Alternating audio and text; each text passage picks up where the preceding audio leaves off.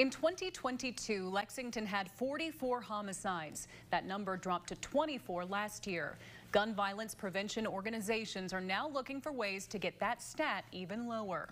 Nonprofit leaders once again have a way to help. Josh Short reports in our top story at 630.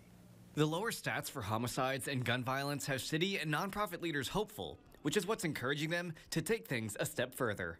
For the third year, nonprofit organizations can once again apply for the city's One Lexington Violence Prevention grants. We believe that this is going to encourage more people to join the fight with us, but also empower those who are already um, doing the work.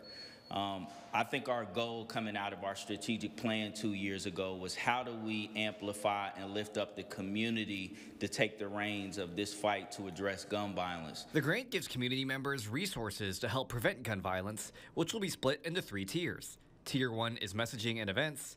Tier 2 is youth programming, and the third tier will combine the first two. All these community partners working together, you become more effective. You think of a ripple effect. Um, something in the water that spreads, it goes out, and, and, it, and it has an effectiveness in different areas. So that's how we can be effective. In our One Lexington team, we realize that, as Devine spoke about, amplifying grassroots organizations, amplifying organizations that's already doing the work, not reinventing the wheel, but how can we empower them so that we can be more effective, reach more people, and broaden um, the work that we're trying to do. We estimate approximately 1,200 young people were touched by programming funded by this year's grant program.